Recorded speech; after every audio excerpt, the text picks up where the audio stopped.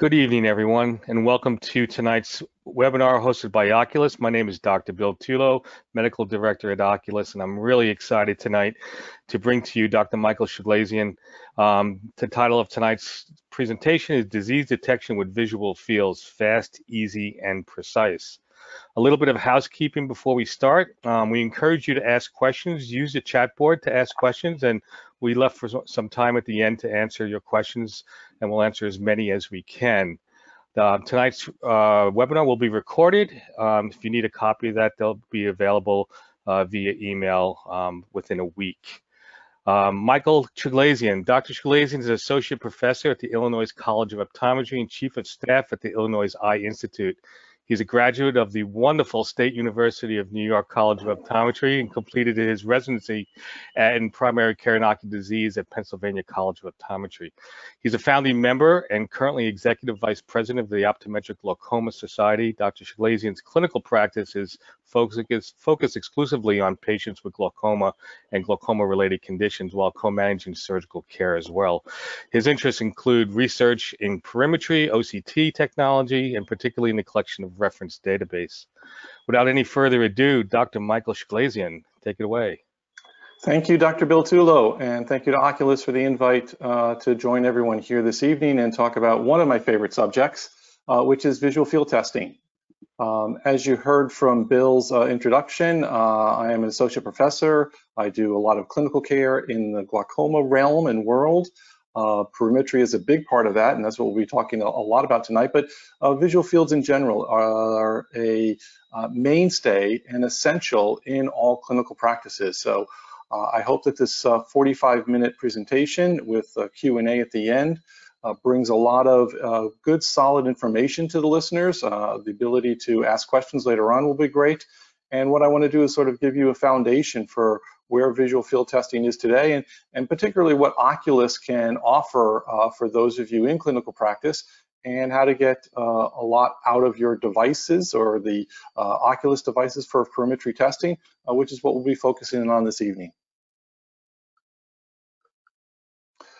So, uh, you know, visual field testing has undergone such a dramatic change in the 25 or 30 years that it has been available for us in clinical practice. Uh, it continues to improve and evolve. And I think it's important for all of us to be updated on what the technology is and how essential it is. Um, it's a primary test for managing and diagnosing glaucoma, as I said, but certainly many other ocular neurological diseases and conditions that produce visual field defects are uh, regularly monitored with perimetry. Um, I would also note that, you know, while we all tend to focus a lot on OCT imaging for glaucoma, uh, for diabetic retinopathy, for macular degeneration, you know, and our OCT is certainly a key device in our uh, clinical practices uh, visual field testing remains a required part of the evaluation and management for many of our patients, particularly those with glaucoma. And it is essential to have the structural assessment with OCT, as well as the functional assessment that perimetry uh, provides. So we're looking for, you know, the best technologies that do this for us, uh, this visual field assessment and functional assessment of our patient in a, uh, a validated and tested um, uh, methodology in a device that is uh, highly uh, functional and easy to use, um, and also uh, comfortable and convenient for the patient. And so there are a lot of different choices out there in the marketplace. I'm not going to review all of the you know different devices for perimetry or anything like that tonight, uh, but I want to just you know identify that as a fundamental request or demand that we have for our visual field testing units. And I think as I review our instruments tonight, you'll find that uh, uh, these Oculus devices will meet your needs. So being a little bit more specific, uh, this is, you know, maybe five to 11 reasons under two different categories for why we would test the visual field. Um, glaucoma is certainly number one, uh, but don't forget about all the other neurological conditions that, you know, just happen to show up in your chair and you need some sort of functional assessment of what your patient can see or not see that helps for you know referrals to neuro-ophthalmology, neurology itself. Um, you know, all sorts of other conditions come into play there. So that's a that's a whole nother more than hour lecture on its own. we're not going to get too much into neurological conditions tonight, but I want everyone to know that uh, the perimeters and the devices that I'm talking about tonight are threshold devices that would meet all of the needs for these medical driven reasons to test the visual field. And then if you're uh, more on the functional side, on the vision rehab side, there's certainly a, uh, an important aspect to the uh, delivery of rehab rehabilitation, visual rehabilitation to our patients, where you need to assess the visual field. Now, many times that's still done with kinetic perimetry, such as with a, uh, you know, not really a Goldmann uh, perimeter device anymore, those aren't available, but some form of kinetic perimetry. Although still for central field loss in patients with many retinal conditions or optic neuropathies, assessing the central visual field can be done by an automated device.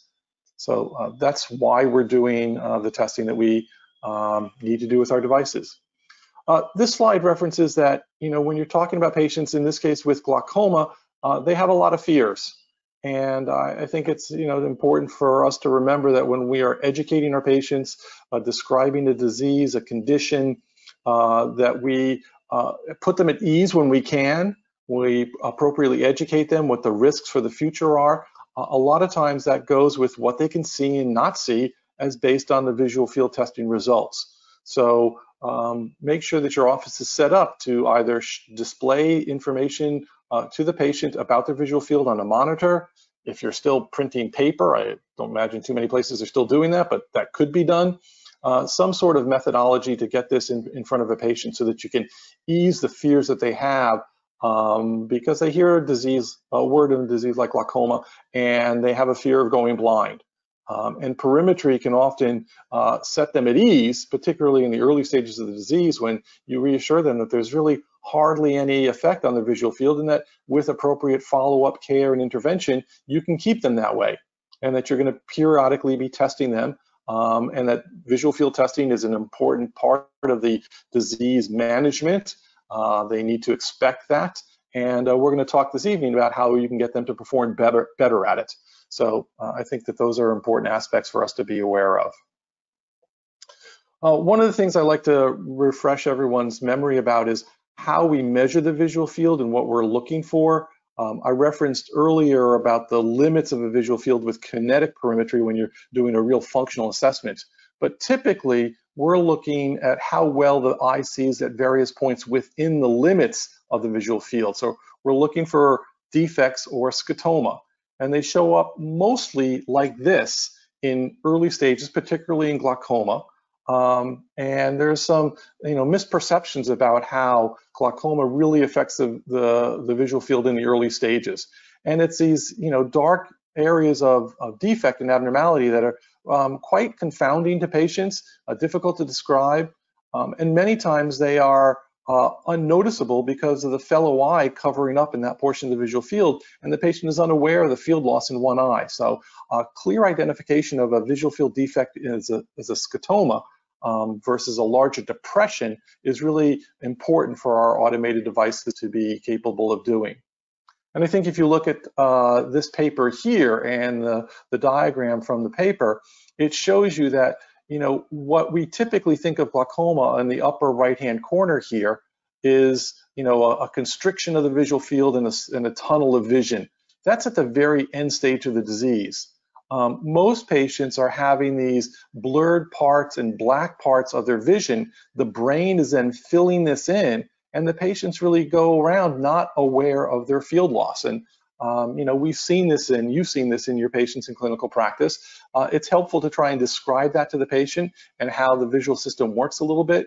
And it's also important to remember that you know, we want our perimeter to identify the scotoma within the field, identify it clearly for us, and then you know, prevent uh, what the black tunnel is in the upper right-hand corner for those patients with, uh, you know, will only happen in patients at the very end stage of the disease if they get there. I got to click back here to advance the slide for a second. Um, here is a schematic of the overall dimensions of the visual field, just to remind everyone uh, what the uh, full visual field is, nasally and temporally. With automated perimetry, we're virtually uh, only concentrating on the central 30 degrees, uh, sometimes to the uh, temporal side only 24 degrees, a little bit past the blind spot, which is 15 degrees away from fixation, uh, and then 30 degrees out here nasally. Um, we know from many papers that uh, most all of field defects and uh, optic uh, nerve pathologies are associated with loss centrally. So we really don't need to do too much testing out here outside of the central 30 degrees for diseases like glaucoma and other optic neuropathies. It's not like things start out here and don't start centrally. In fact, it's really maybe quite the opposite that glaucoma often starts right in here in the central 10 degrees, and we'll talk a little bit more about that uh, coming up. So visual field defects uh, and depressions named by location. So this is just a reminder for uh, those of you who've you know, forgotten these terms. We don't really use this old term Bjerrum anymore. Uh, we use the term arcuate. This is the curved arcing scotoma that follows the retinal nerve fiber layer pattern over from the blind spot over to the nasal hemifield, and it's these paracentral scotomas that are most frequently seen in the early stages of glaucoma, and sometimes even here, uh, maybe not right at the fovea, but within the central 10 degrees here is where we may see a lot of early field effects uh, in glaucoma, as well as many other optic neuropathies. So the naming and the conventions, uh, there's a variety of different diagrams that you can look at just to remember. Uh, again, I, I, think the, the point of information here is like, this is what your perimeter is trying to do for you. And uh, it's important that we understand um, that we want to be able to identify this arcuate scotoma as clearly and quickly and as efficiently as possible.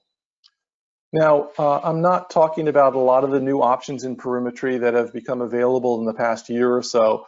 Um, I think that it's you know very early days for these head-mounted perimeters. I've tried two or three of them. Uh, I do have some you know mostly favorable initial impressions, but these are uh, still in development in my opinion. There's a lot of work to be done. There's a lot of uh, testing and validation in my opinion to be done. But you know I think it's something for everyone to pay a little bit of attention to. Um, for right now, I am relying on my traditional perimetry devices um, that may change in the future. Um, you know, there may be some advantages because these headset devices do other things besides testing the visual field, but really uh, they've not been fully validated. There's no real papers or publications on them. Uh, they have a very limited dynamic range, so they're not really geared at this time for patients with moderate to severe visual field defects. Uh, most of them have no real progression analysis, so that's a problem. Um, you know, maybe in some settings uh, they might be okay, uh, but again, I think you have to shop very carefully and, and, and have very, very careful consideration. Um, I would really recommend for the most part that people think about, you know, this, you know, coming to be something in the future uh, to pay attention to it, but that for right now, uh, traditional perimetry, small desktop, um, efficient devices such as the Oculus Easyfield really meet the needs of most clinical practices. And uh, this is well validated, well tested, um, very well made, um, very um, uh, sturdy and substantial, at least in my experience. Uh, that's been my personal experience in using the device for a while. And, um, uh, and patients respond very well to it. Uh, you know, paying attention to what head-mounted perimetry may offer us in the future, but maybe not quite there just yet. Um, so choosing uh, what you do with the uh, with any perimeter, but you know we'll focus on the uh, Easyfield here tonight, uh, is choosing a test pattern. And so you know we've been um, and appropriately so built around these traditional grids or test patterns, the 24-2 and the 10-2. Uh, these just happen to be uh, report printouts from the Humphrey Field Analyzer. You would see similar things from the Octopus uh, visual field testing unit, you see the same things on an Easyfield uh, testing unit, and I will show you those coming up. But you know, this is what I mean by selecting a grid. 24-2 uh, remains to be the uh, most common uh, testing grid pattern that I select. It does, as I said, go, out to 30 degrees nasally, only 24 degrees uh, temporally because we don't need to test that side of the visual field. And it removes that outer ring of points that the 30-2 grid had that is just really a waste of time at this point.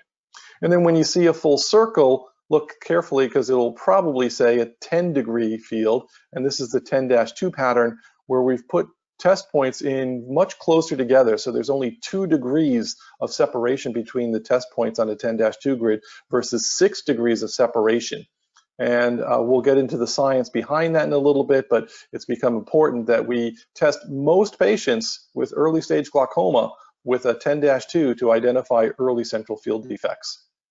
Again, all of these options are available on the Easyfield uh, and other Oculus perimeters. And uh, again, I'll leave it to them to answer more uh, specific questions about the unit, but uh, I've been using the unit for uh, quite a while now, and I'm uh, pleased with how it replicates my testing patterns and strategies from other devices that I have been using for a long time as well. Uh, so this gets in now into the little bit of the science of the need for that 10-2 grid. What you're looking at here is a fundus photo, of course, and the central 20 degree circle here. Uh, and I, unfortunately, this red circle got offset a little bit. Uh, that red circle should be centered right around the fovea, and this would be the central 10 degrees, uh, showing you that there's really only, uh, you know, within the central 20 degrees, 16 points that are being tested. And on central 10 degrees, it's even fewer than that. So we just don't have enough test locations to accurately identify early, small paracentral defects that occur regularly in patients with glaucoma. So the bottom line is, is that doing a 10-2 pattern is really quite essential. This is the uh, anatomy. Uh, this is identified and published by Don Hood from Columbia University. He terms it the macular zone of vulnerability, uh, reminding us that the macular zone is highly vulnerable in our patients with glaucoma. And you will miss uh, patients with early disease uh, with just doing a 24-2 grid. So most of the recommendation remains still today that, you know, if a patient is a decent test taker and they've done well on a 24-2 grid and you've not found a defect, um, and in particular if they have OCT loss on their central macular scan, so their so-called ganglion cell complex or ganglion cell analysis scan, then you definitely want to do a 10-2 grid so that you can identify these uh, close and central defects that happen within fixation. Um, this is classic structure and function. So when you're talking perimetry, you're generally not just talking perimetry by itself, you're talking perimetry with a disc photograph and OCT images and you're working through, okay, I've looked at the optic disc in A, I see a notching to the neuroretinal rim, I see neurofiber layer dropout, um, I see uh, a paracentral scotoma on the pattern deviation plot, that little black square there, it's actually both on the total and the pattern deviation. That one little defect there that would be highlighted better on a 10-2 grid, it just happened to be caught on this 24-2 grid, um, then we know corresponds to the inferior temporal nerve fiber bundle defect. It's shown here on the quadrant plot of abnormality and thinning on the OCT, and then also on the ganglion cell analysis image from the macular region. So all those things put together, that's what your perimetry should be uh, uh, working towards integration with the other devices in your office for glaucoma patients. So we've talked about choosing a testing grid. You also need to choose a test strategy. Lots of, um, you know, uh, sometimes debate or different uh, choices for a screening field versus a threshold field versus the newer optimized threshold fields that perform tests in a much faster, more efficient time frame. Uh, this is a, a, a, a, slide specifically for the Oculus Easy field, and I've highlighted the two testing uh, strategies and uh, along with their grids, if you will, uh, that I use most regularly and most frequently. Um, mostly today, I've gotten away from using screening strategies. I know that some people still like to use screening strategies in the office. Um, you can use a quick 20-point screening. Uh, that's you know that's one practice management style is to screen everybody in your practice. Uh, I generally think about I do a careful, thorough, comprehensive examination. And if I see a need to do a visual field, it's usually identified by something that I've caught in the case history or the clinical exam. I get it that it's not all the time, but um, if I have a suspicion of anything, then I'm jumping to a threshold pattern. What I've highlighted here is the enhanced or optimized version of threshold testing on the Easyfield called the Spark Precision Testing. And that has 67 test points in the central 24, 30 degrees. It's only three minutes test time, and you get the best accuracy for you know not a very long test. So I think it's the best optimization between a screening test that is not well suited for uh, identifying uh, subtle defects. Yes, it's going to find a significant, dense, gross, uh, large defect, but most of the time I'm uh, narrowing down and choosing to do a, a, threshold type of strategy. Here are some of the screening uh, test results from the easy field. Uh, this is the screening 24-2 pattern. You can see on the right the field is normal. You can see on the left that there were a number of uh, test points, all the black boxes that were abnormal. You put them together in their appropriate shape and you can identify the pattern and, uh, and the location of the field defect and perhaps tie it into the suspected disease overall. Uh, but I do want to uh, talk about this SPARK threshold strategy that is uh, proprietary to the Easyfield. Um, it's something that I've uh, really found quite favorable and well received by my patients and also has compared quite favorably to my uh, experience with other visual field testing devices. And again, what uh, you know, what a lot of the device manufacturers in perimetry have done is optimized the traditional uh, staircase methodology for thresholding. That is, we're trying to identify what's the patient's you know retinal retinal sensitivity measured in decibels um, at all of these test points, up to you know 59 to 67 test locations in a very short test time and you have to integrate some algorithms and some uh, predictions uh, to do that quickly and efficiently. And that's what Spark is, and that's why I like Spark Precision. Um, it's going to give me test results virtually all of the time in about three minutes. Um, it's been well validated. There are papers published on it, um, and it's well tuned for my glaucoma patients and the few neurological patients that I see, or if I'm going to be sending patients out for neurological examinations. Um, so it's, it's really quite easy and rapid. And uh, I think the technology that uh, is incorporated in the software here is really an important component of why I'm looking at certain devices. So it's, um, it's very well defined and it, it really, I won't get too much into the science of how it works. It's uh, above and beyond a, a one hour uh, presentation uh, this evening or 45 minute presentation this evening, but basically it has a very smart strategy for working through the visual field. Um, yes, uh, published that it's about two minutes faster than SITA, uh, very predictable in the duration of the test, um, highly repeatable, and also can be integrated with its uh, proprietary progression analysis called TNT, or Threshold Noiseless Trend Progression. And so combining those two things, a very accurate um, uh, uh, thresholding uh, algorithm is key, as well as the uh, ability to monitor for progression. Here is uh, articles in literature. So again, when I'm given something by a device manufacturer, I don't take them at their word for it. I do my research, I go to the literature, I see what's published, I see what the experts in the industry are saying, and I'm looking for you know something published in good journals that are identifying the accuracy and sensitivity in a number of patients. So it's not just not my um, um, you know impressions of marketing and other pieces of information. And, again, Spark has that, so I think that's tremendous.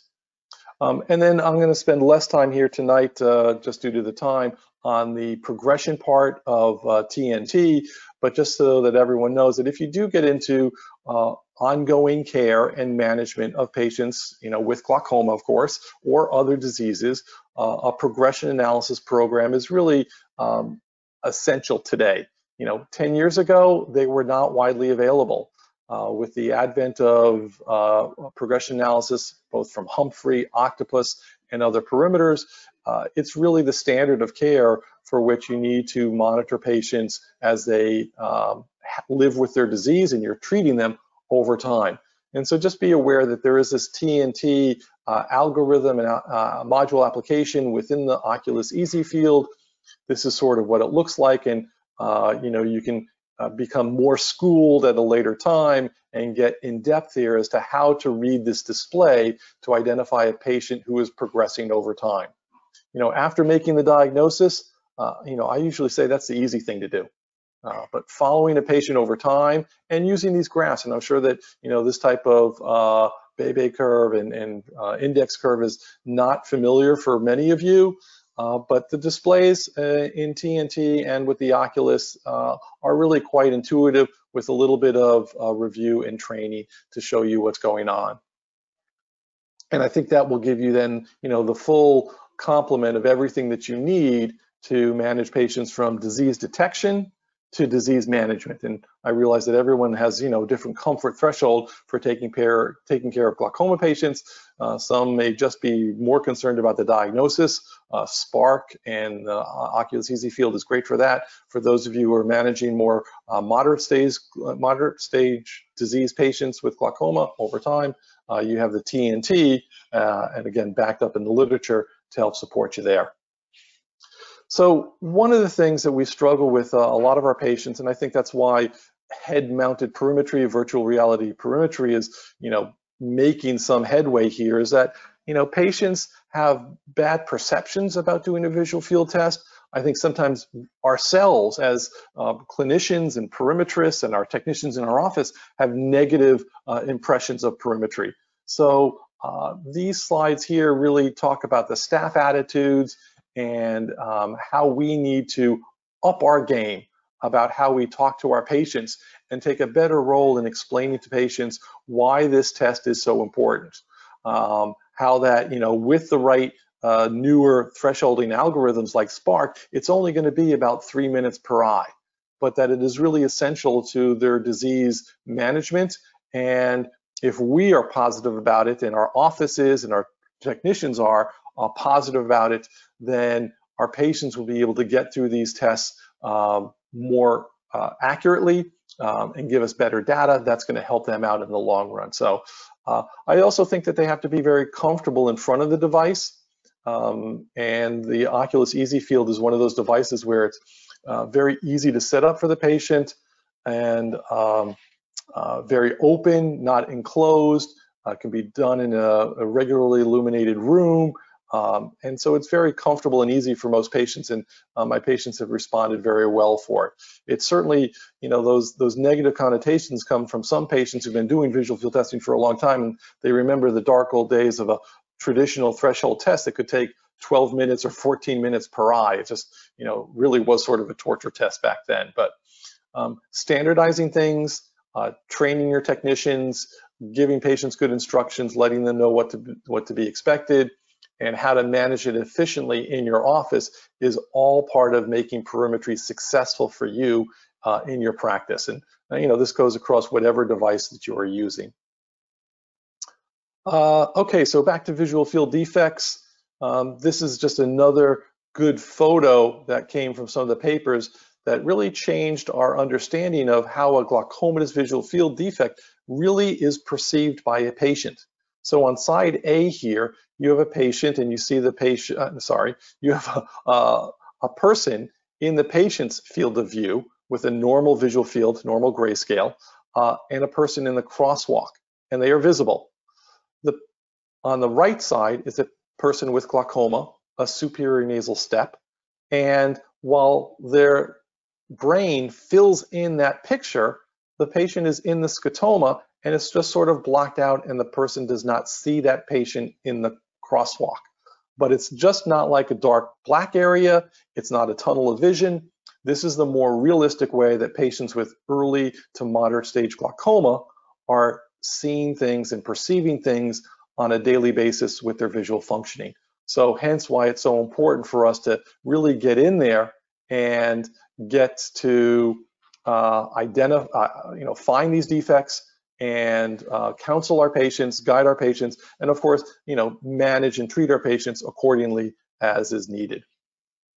Uh, more terminology here on where visual field defects come from on our 24-2 grid pattern.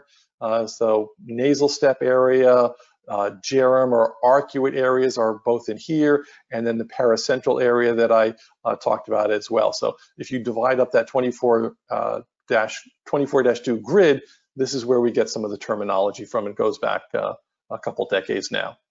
Here's other patterns of defects that you can see on uh, any printout showing you sort of, you know, this, the different appearance of glaucomatous uh, visual field defects.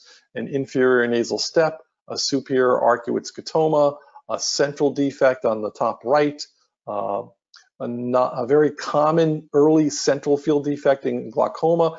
Notice how it's respecting or resting on the horizontal midline while almost crossing the vertical midline and going over into the nasal step area. So uh, like, as I said earlier, a 10-2 would help enhance this and identify even more abnormal test points. And that's where our patient's visual function is. So we need to know more about it and we need to track it more closely.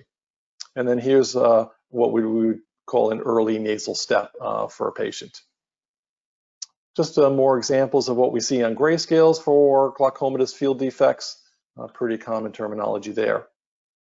Um, so this is, uh, and apology, I'm just recognizing the staging here is from the old coding system, the ICD-9 system.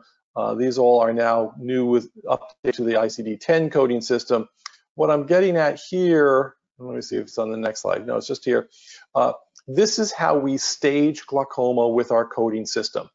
So if you're not aware, stage uh, uh, box one here is mild stage glaucoma, and there's no field defect. So we definitely diagnose glaucoma when there's no field loss, but we have OCT damage, optic nerve head changes, significant IOP or other risk factors. And this is mild stage. Boxes two and three are moderate stage, probably what many of us might have called early stage 10 years ago, but this is definitely moderate stage. And then box four down here is uh, uh, severe stage glaucoma. So the only thing that's really wrong here is that these coding numbers in the left-hand bo blue box here are the older uh, ICD-10 system. So I apologize for that. I have to update that to the new uh, ICD-10 numbers. But that's staging for glaucoma. Uh, here's where we get our visual field defect uh, patterns from, from of course the retinal nerve fiber bundle. This is just drawn out on this fundus photo for the left eye. Uh, and uh, the you know region in A and in B, the arcuate zone, and B, the paracentral zone. A little bit of, C, well, C here is just identifying the horizontal raphe. Uh, again, that old anatomical term uh, just is a dividing line in the retina, and that's why the visual field defects that I showed you back here and here are all respecting the horizontal midline or horizontal raphe.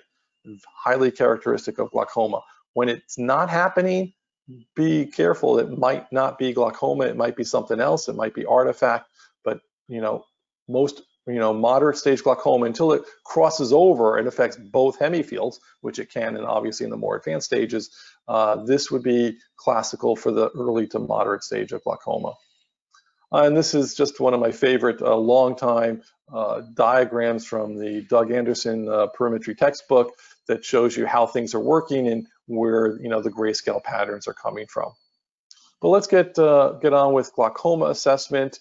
And you know, one example here, uh, you can't really see much of any uh, optic nerve head glaucomatous changes on this photograph, and that's often the case. Uh, we would certainly want to integrate OCT imaging. You know, as I said, everything is done structure and function together. But the visual field here in this overview report is showing you what is uh, what one type of uh, progress is for the development of an early nasal step. From a couple of isolated points here in the nasal region to a few more of them to even more. And then you can start to see that this is connecting back into the arcuate zone, leading back to the blind spots. Now, nasal steps are not always the first defect. I highlighted for you earlier that some patients show up with these paracentral scotomas that are very close to fixation. Sometimes we think that happens more in patients with normal tension glaucoma, but really it can happen in anyone. And if you do more 10-2 testing, you will find uh, more of those types of defects. Uh, we looked at this slide earlier, again, structure and function fitting together. Uh, that's uh, to make perimetry work best for you in, in your practice. Uh, I get lots of questions about reading and interpreting visual field test results. Uh, it's sometimes not an easy answer because I don't have all the information when I get these consults, and I'm often asking the practitioner, well, does it correlate with what you saw in the back of the eye? Does it correlate with a photograph that you may have taken, or does it correlate with your OCT? Well, I don't have an OCT in the office. Well, then you're sort of stuck of like, you better be able to look at the optic nerve and try and identify what you're seeing there. Uh, of course, repeating a visual field test Um, even for a threshold test, repetition really helps to confirm. And we know about learning effect with visual fields for all devices. Um, so it's pretty common for me for a glaucoma suspect to repeat that first visual field within two or three months. You know, sometimes a little bit more than that, but that's generally the timeline where I want to get my two baseline tests uh, of good quality in sort of a close time frame. So two or three months, maybe up to four months apart to confirm that the defect that I'm suspicious of, and again, I may be diagnosing glaucoma without a field defect, I would still get two baseline tests within the, those first four months. Again, presuming the patient is a good test taker, I've given them good instructions, I take a positive attitude towards doing the visual field, I'm selecting a testing algorithm like SPARK, I'm doing a 24-2 grid, I may have to do two 24-2s and then follow it up with a 10-2. That's one of my strategies to, you know, do this extra testing, which I, again, I know is a burden. I'm not saying it lightly, but I want to reiterate that it is still part of the practice patterns for glaucoma. So here's an example uh, with a SPARK uh, test from the Oculus Easyfield that I've been using. Uh, this is a patient with uh, basically mild stage, uh, maybe a little bit beyond that because I am starting to see a field defect here uh, on this patient. So this actually is more moderate stage. Apologize for the uh, uh, mislabeling on this slide.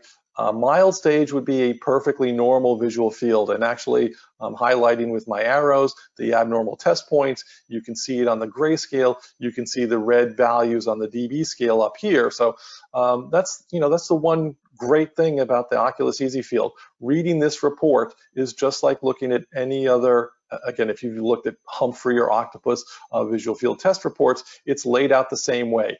This is your total deviation, your uh, pattern deviation plot. You're looking for key localized field defects on the uh, on this grid down here. You don't really have to look too much at the decibel values on the uh, on the two plots up above.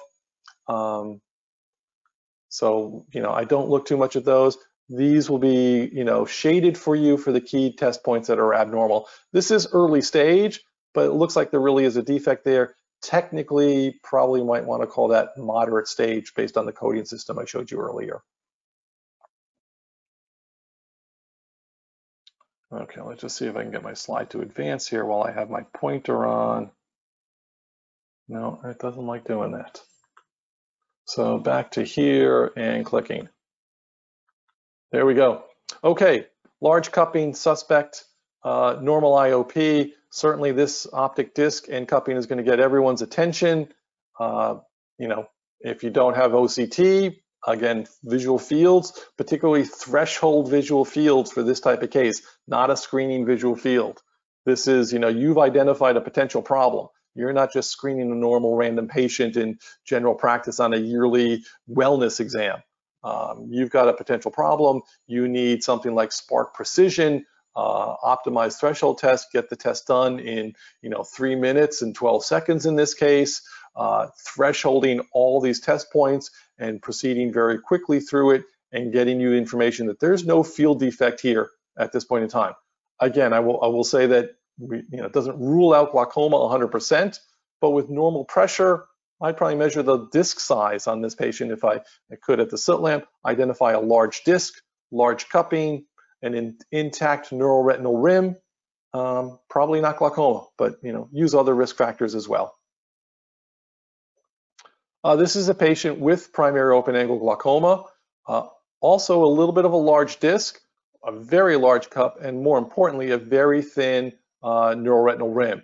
And difficult to see where the neuroretinal rim is thinnest um, and so I, you know, as much as I, you know, tell all my students and residents, get good at looking at the optic nerve, I know it can be difficult and you can't always see everything uh, on these photographs. OCTs do help a lot.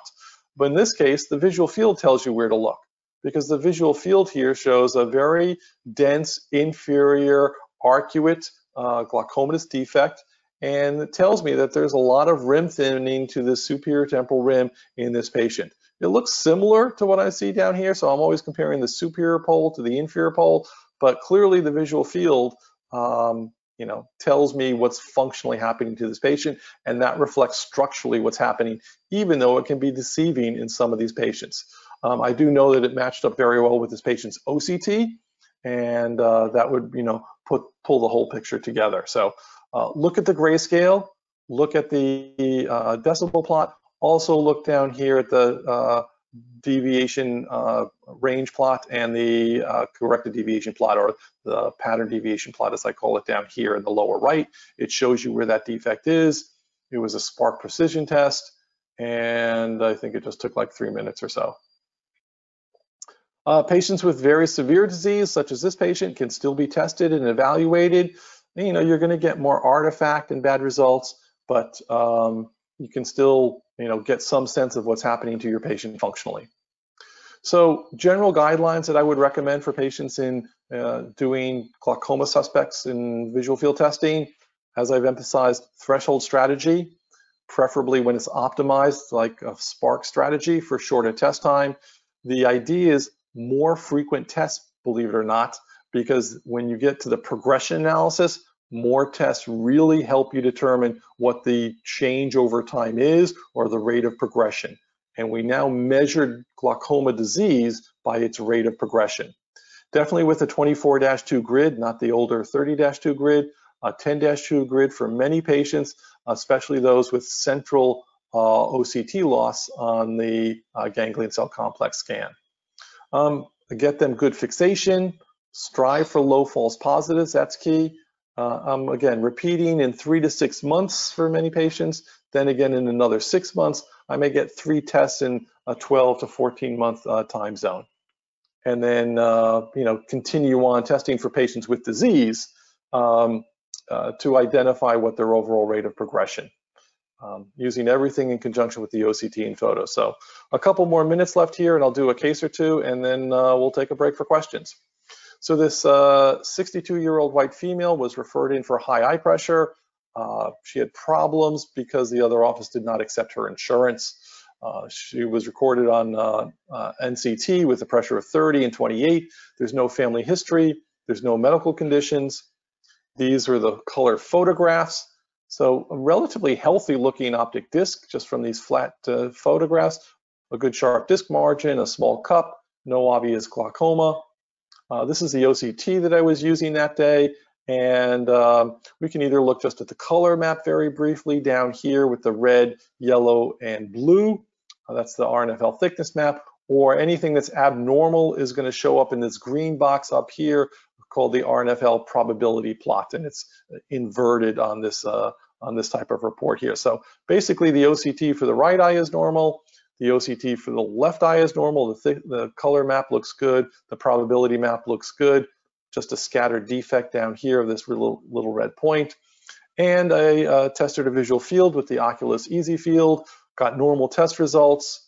And uh, despite the fact that the patient had very high pressure at this point in time, does not have any disease um, that I was able to identify. So um, pressures are high. Um, we did go ahead and start treating her for ocular hypertension, but we were able to complete a workup, including visual fields here, uh, to get good test results overall. And just as a point of comparison, uh, I also tested the patient back uh, last year uh, with the Humphrey field analyzer that I use, I got the same results, did not find any field defects on the Humphrey field analyzer using their SITA Fast strategy. So I have a lot of examples here where I'm uh, integrating my uh, Oculus Easyfield in with my traditional perimetry, which is the Humphrey field analyzer. Uh, this is a patient with more advanced stage glaucoma, uh, really in both eyes. It's actually more advanced in this left eye over here with uh, severe rim thinning and cupping. The OCT shows you know, lots of RNFL loss and ganglion cell loss. Um, and the field on the Oculus Easyfield, uh, surprisingly, uh, again, look at that right photo and the OCT. It shows you how much lag there is between visual field defects and OCT loss. If you look at the right eye over here, uh, the left eye though, on the Oculus Easyfield, uh, you know, severe stage glaucoma in the left eye, the right eye is headed that way. Um, we have to, you know, treat this patient aggressively and perform uh, frequent visual fields. Here's putting everything together for you. So photograph, OCT, visual field. Uh, when you can do that and you have, you know, your office set up to get those images on a computer screen, that's great. Uh, for comparison, Here's how the patient did on the Humphrey Field Analyzer with quite a long test time of seven minutes and 23 seconds for that left eye and basically the same results. Um, one or two more cases and we're done. Uh, this is a newly diagnosed patient with high eye pressure, uh, had a retinal vein occlusion in the left eye, has some abnormality there, but also has glaucoma.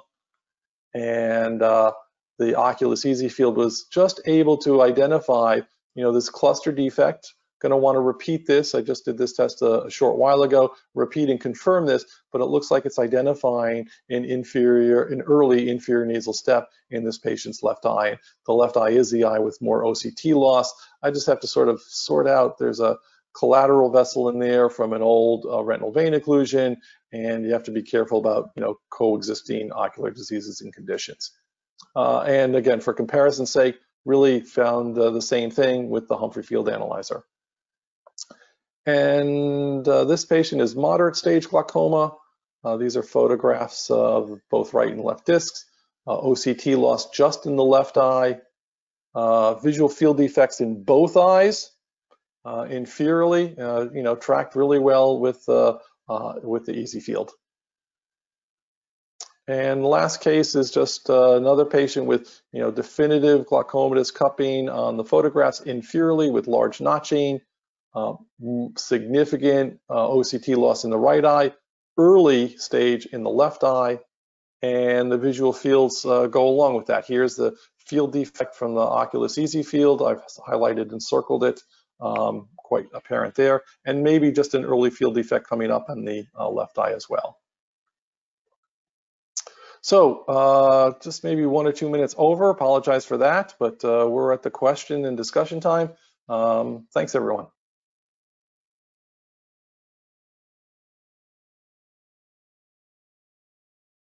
Great job, Michael. This was really fascinating. And I have some questions I want to uh, ask.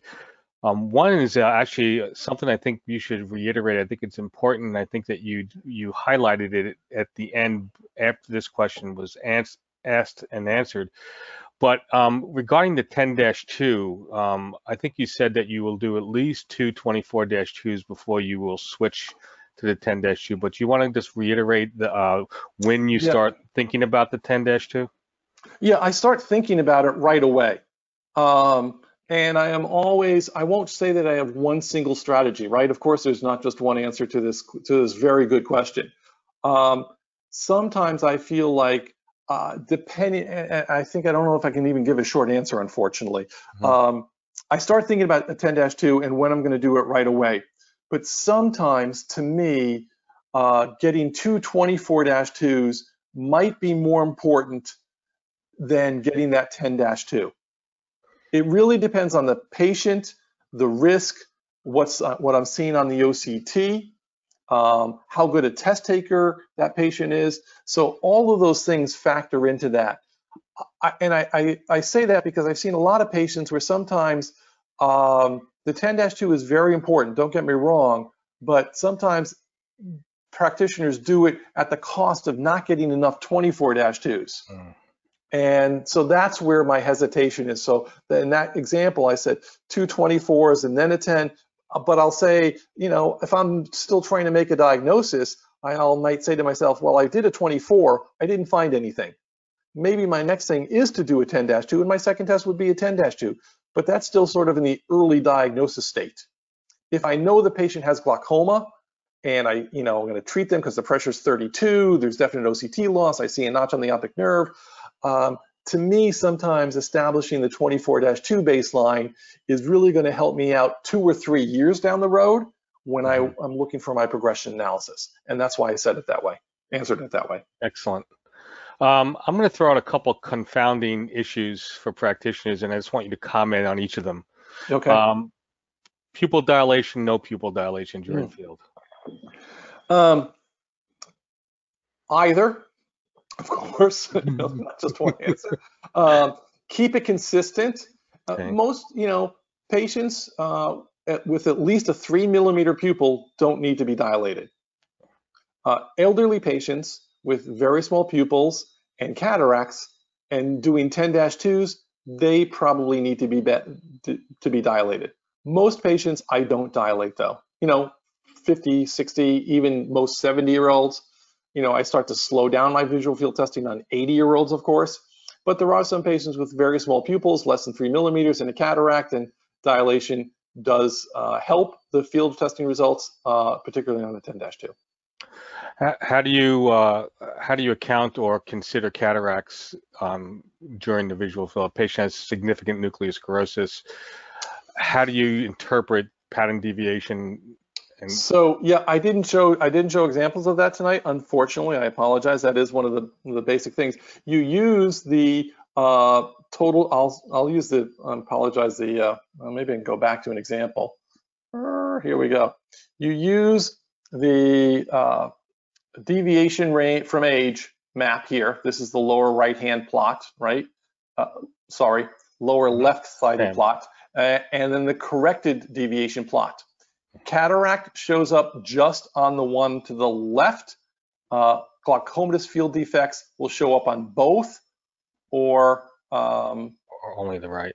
Only the right. No, no. If it's only the right, it's high false positives. So if there's a cataract, you'll see cataract and glaucoma on the left, glaucoma only on the right. Got you. I, am sure I confused everybody no. right now because I really need a visual example. But you know, listen, cataracts can be a real problem, and uh, but this the this corrected deviation plot will typically show the glaucomatous defect hidden and masked by the cataractus uh, depression that will be seen here uh, to the plot on the lower left. I've got that, you know, it's in the video, it's in the tape or recording. I think that's clear. um, how do you um, consider and handle corneal thickness when measuring IOP? And then what is, I mean, I assume you're a Goldmann IOP um, yeah, I am, but you know, I, I, am very open to other modalities of tonometry these days. So I, I used to be very strict Goldmann Bill, um, you know, but uh, I will use iCare. I will use a new TonoPen, uh, one of the Avia devices. Mm-hmm. Um, but iCare is highly repeatable, and I don't use it for treating and managing my long-term glaucoma patients. But uh, uh those tonometers are great in general practice. How do you incorporate corneal thickness with that? Well, you don't do anything with your corneal thickness value to change your IOP number. Okay. You don't recalculate, you don't use a grid or a graph or some other piece of paper that a company gave you. A lot of right. people still doing that, yeah. I know, it's horrible.